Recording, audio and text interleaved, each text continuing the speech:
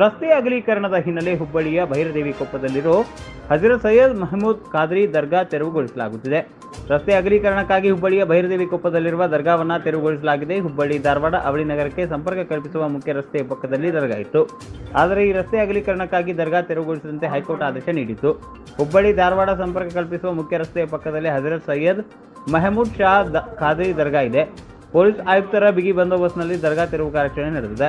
ಮುಂಜಾಗ್ರತಾ ಕ್ರಮವಾಗಿ ಹುಬ್ಬಳ್ಳಿ ಧಾರವಾಡ ರಸ್ತೆಯಲ್ಲಿ ಐದುನೂರು ಮೀಟರ್ವರೆಗೆ ರಸ್ತೆ ಬಂದ್ ಮಾಡಲಾಗಿದೆ. ಮುಖ್ಯ ರಸ್ತೆಗೆ ಬ್ಯಾರಿಕೇಡ್ಗಳನ್ನು ಅಳವಡಿಸಿ ತೆರವು ಕಾರ್ಯಾಚರಣೆ ನಡೆದಿದೆ. ಭದ್ರತೆಗಾಗಿ ಐದು ಡಿವೈಎಸ್ಪಿ, ಹದಿಮೂರು ಪಿಐ, ಹದಿನೈದು ಪಿಎಸ್ಐ ಏಳ್ನೂರ ಐವತ್ತು ಕಾನ್ಸ್ಟೇಬಲ್ ಹಾಗೂ ಆರ್ಎಎಫ್, ಕೆಎಸ್ಆರ್ಪಿ ತುಕಡಿಗಳನ್ನು ನಿಯೋಜಿಸಲಾಗಿದೆ